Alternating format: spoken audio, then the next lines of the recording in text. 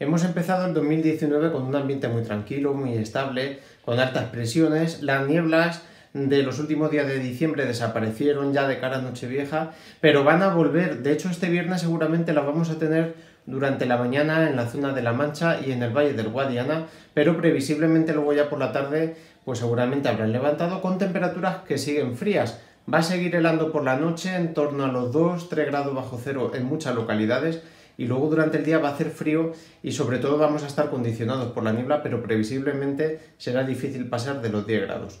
El sábado vamos a volver a repetir esas nieblas otra vez, serán matinales, probablemente por la tarde tendremos un cielo despejado con temperaturas que continúan frías, heladas débiles en general por la noche y máximas sin muchos cambios, ya decimos bastante frías, aunque en zonas donde no aparezca la niebla sí que es probable, como Fuencaliente por ejemplo, que esas máximas sean bastante más altas. Y finalmente el domingo, el Día de Reyes, esperamos también un ambiente muy tranquilo, con algunas nieblas matinales de nuevo, pero que van a desaparecer rápido y con temperaturas que podrían subir un poquito. De todas formas, la semana que viene, esto está por confirmar, los modelos nos pintan una posible entrada fría ya de cara sobre todo a la segunda parte de la semana, pero inestabilidad por el momento no se ve.